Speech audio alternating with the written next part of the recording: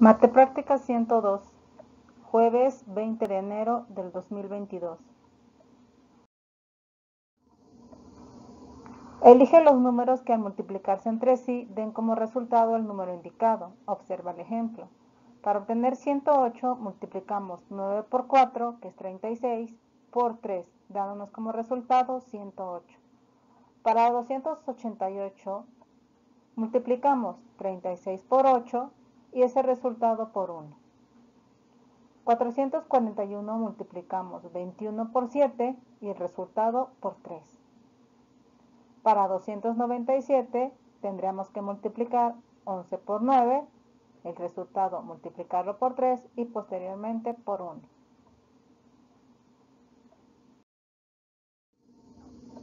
Ahora encuentra el valor de los animales marinos en las siguientes operaciones tienes que realizar las operaciones que están a tu derecha para poderlos encontrar.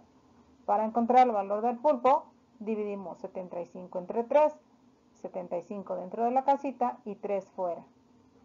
Para el valor del tiburón, hacemos una resta, 25 menos 11. Y para el delfín, dividimos 42 entre 14, 42 dentro de la casita y 14 fuera.